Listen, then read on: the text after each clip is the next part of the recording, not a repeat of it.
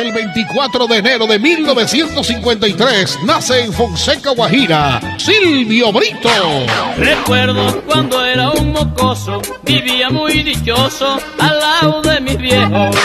¿Cuál sería mi desdicha? ¿Cuál sería mi poema?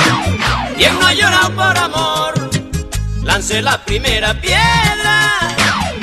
Derrumban mis canciones, yo me voy de romería en romanza de ilusiones. Dile a quien te pregunte por mi vida, que has dejado en mi amor tantas ausencias. La huella es un recuerdo que me causa sentimiento. Llevo aquí en el alma convertida en sufrimiento. Ya comienza el festival, vinieron a invitarme.